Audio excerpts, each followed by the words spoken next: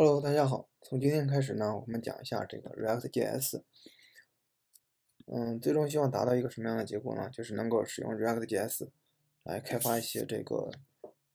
有一定的这个实际用处的项目。那么在讲这个课程之前呢，首先要说一下，就是默认我是希望大家已经有一些前端的基础知识。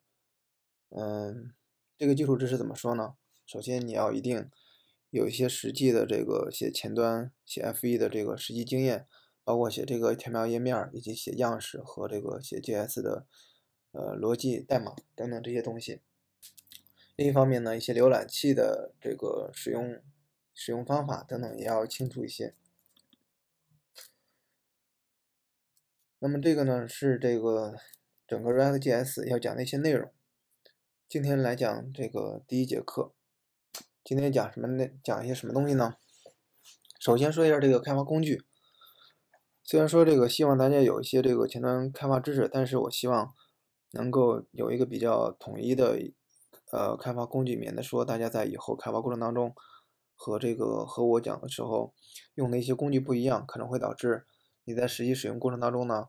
不知道哪些东西怎么用等等这些。所以这个在讲的时候，我会先把我使用的一些开发工具先大概的。说一下可能要用到的，以及这个其他附带讲一下。那么第二个内容呢，会讲一下这个学习清单，就是这个要讲到的内容和不会讲到内容。第三点呢，就是讲一下这个 React.js 的基本介绍。嗯，首先来说一下这个开发工具。开发工具呢，基本上分为三个主要的部分。首先第一个是浏览器，这个作为一个前端开发，你的这个对浏览器的这个熟悉程度怎么样？决定了你这个人这个技术能力能够达到一个什么样的高度。之前我用这个用 Windows 的时候呢，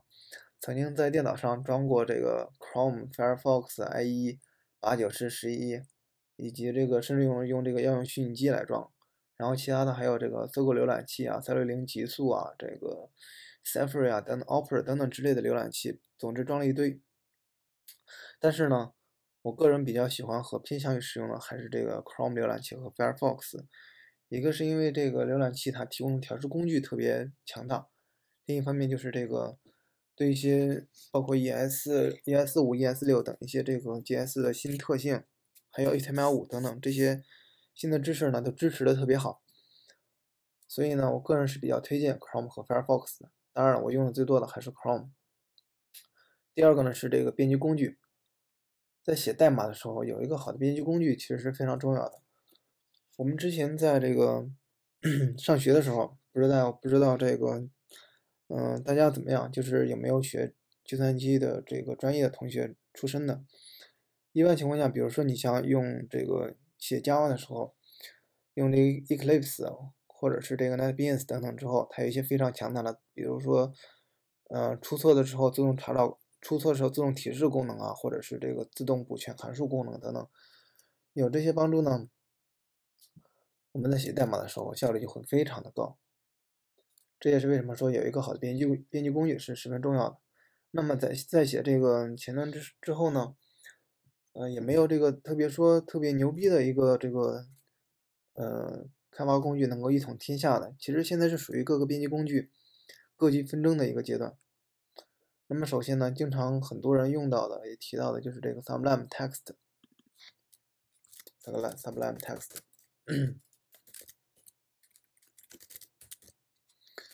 这是我个人这个也比较喜欢用的一个工具，是因为这个工具首先是界面简单，然后再一个这个使用起来，比方说这个各种快捷键也也使用非常溜了，所以在这一点在这一点上呢，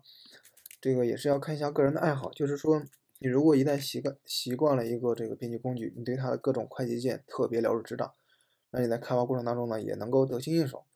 所以这个，所以在选择的时候，有一个这个好的工具也是这个十分必要的。熟悉一个工具也是十分必要的。再一个就是我特别喜欢 Sublime，有很多插件可以用。这个呢，大家到时候在网上，嗯，总之就是一搜一堆啊。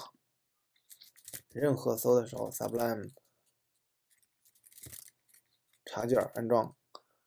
看，百度搜出来之后都是什么各种投持款啊、推荐的最佳列表插件啊、常用插件以及安装方法呀等等这些，我们在这个前端开发的时候，有些人比较这个使用的比较多的这个，嗯，像这个 CoffeeScript 啊、Less 啊等等这些东西，都是都是这个 Sublime 可以提供支持的，所以在使用起来的时候特别方便。再一个就是它的主题也很多，这一点呢就不说了。现在是做界面、做这个编辑器的各家公司都特别注重界面。想装这个 Sublime 插件的呢，可以网上百度上直接直接查一下，这个就不用了啊，不要老师不会在课堂上再一点一点去给你这个花时间讲这个。再一个呢是这个 WebStorm 和 Inter IDE，Inter IDEA，Inter IDEA 这个那个有初级版的，然后也有这个 Pro 版的，Pro 版的是要收费的，这个也是使用的比较多的。这个工具工具工具呢？编辑工具是这个，包括前端和这个 JavaScript 等等和 Java 等后端这些语言都是可以这个使用的，功能也是特别强大。啊，这就是我说的。虽然说这个功能也很强，但是因为我习惯了 Sublime，所以这个我都一直用 Sublime。大家这个如果没有这个还没有形成习惯的话，可以给各个编辑工具试一下，然后觉得哪款好呢，然后就决定用哪一款。再这个呢，有的同学，比方说在 Windows 上使用的时候，直接用记事本来写。我一向都是比较这个钦佩这这类同学的，因为这个首先自动补全的有时候可能功能提示不是特别强大，再方面用记事本呢完全就是手敲，一点提示都没有，所以在这点上要求大家对这个常用函数什么的就是特别清楚。还有一个呢就是这个 Atom，Atom 呢是这个如果有这个接触过 React Native 开发的同学会看到这个就是比较。官方也比较提倡用的一个编辑工具，但是它需要安装这个 native 带有的那个插件，然后使用起来，我自己使用的时候有时候觉得会有点卡，所以说这个完全看大家喜好吧，到时候各个工具是吧，挨个试用一下，觉得哪个好就用哪个，这个没有什么太大关系。第三个是这个本地服务器。嗯，为什么要提到这个呢？一般情况下，可能说我们在开发页面初级阶段是什么？本地页面你直接夸夸夸编辑了一堆，说这个我编辑完页面之后，直接这个嗯双击这个开发页面直接打开，然后哈哈，你在这个浏览器里边看到的就是类似于这种嗯 file 协议开头的，就是你本地直接打开的文件夹。但是呢，这个是我们的。初级阶段，我更希望大家说，在以后使用过程当中，能够达到说你在本地开发也能使用 HTTP 来开发，直接搭建一个服务器，映射到本地的文件夹。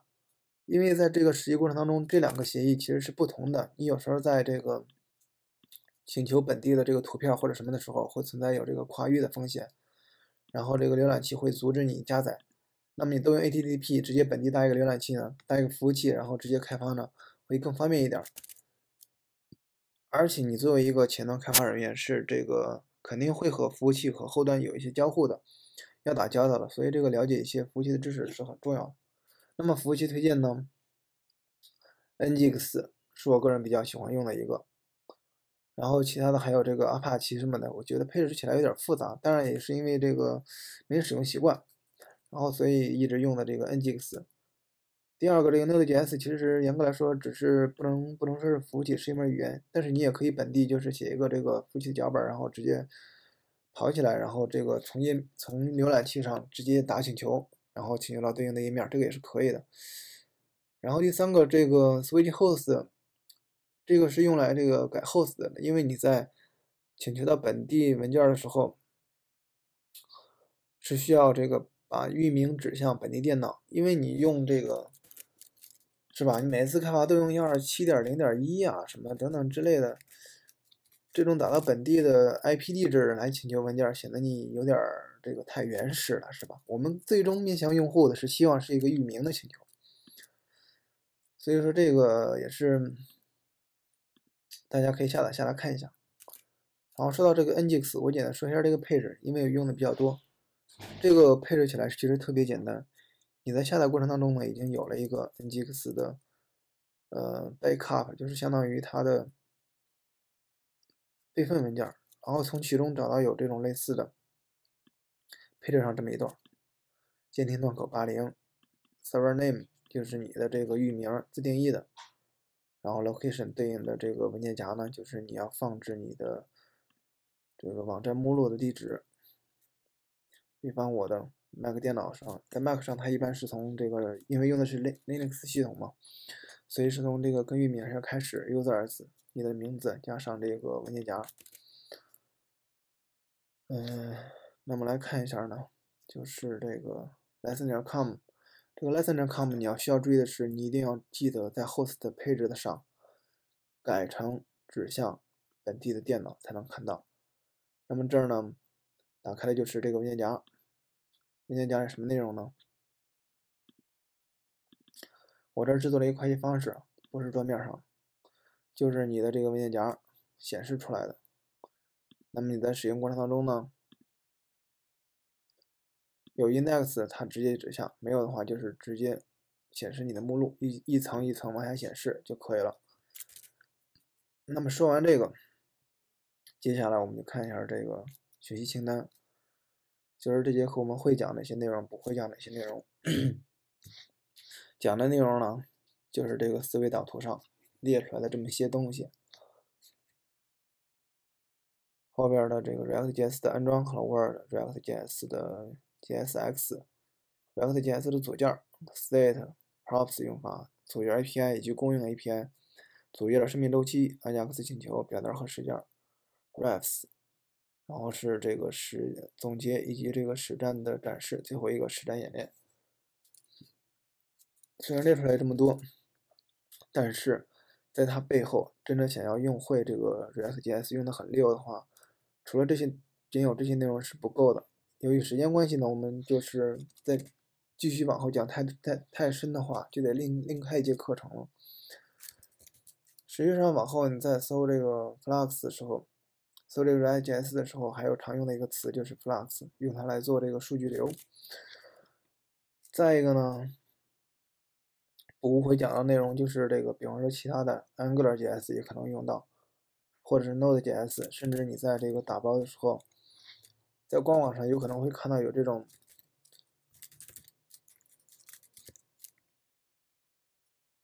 browse file，好像是这么拼，然后是这个 webpack 等等这些这个打包工具、开发工具的使用，这些东西呢，我们在课程上因为时间关系都不会再慢慢的讲，需要大家呢在课下仔细去看。当然，另一方面来说。虽然说我们会讲到这么些内容，但是实际讲和你看这个网上查查找这个学习资料还是不一样的。网上找 React.js，那都是一堆一堆的这个学习材料，等等等等等等，各种入门、各种文档啊，等等之类的。但是我们这个和他们那个有一个什么样的区别呢？就是这个在讲的过程当中呢，我们可能会提到一些这个在实际演练过程当中。实际使用实践上的时候，有一些的这个小技巧啊，或者是注意事项啊等等这些东西，我们在网上是查不到的。所以这些东西呢，和这个你去看教程学习、看这个网上的网页学习还是有差别的。另一方面就是说，因为这个技术也是在不断的这个进步，然后在一些使用方式上也可能会产生改变，包括这个 React.js 你在引用的时候，嗯。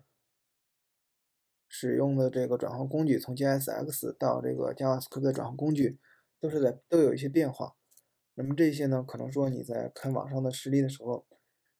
他们不会说是你什么时候用的，所以有时候它可能是比较旧，时间上跟不上。然后等你再去用的时候呢，可能一些文档找不到，等等这些内容。那么老师在讲的时候呢，可以先说一下，今天是应该是二零一六年四月份，马上要结束了。这就是最新的这个最新的版本，那么以后再更新呢，我们就再说了。然后接下来这个进入进入这个首要内容，React.js 的介绍。首先我们要知道这个提到 React.js，很多人就会想到这个 AngularJS，这是两个比较类似的东西。那么我们都知道 AngularJS 呢是这个谷歌出品的。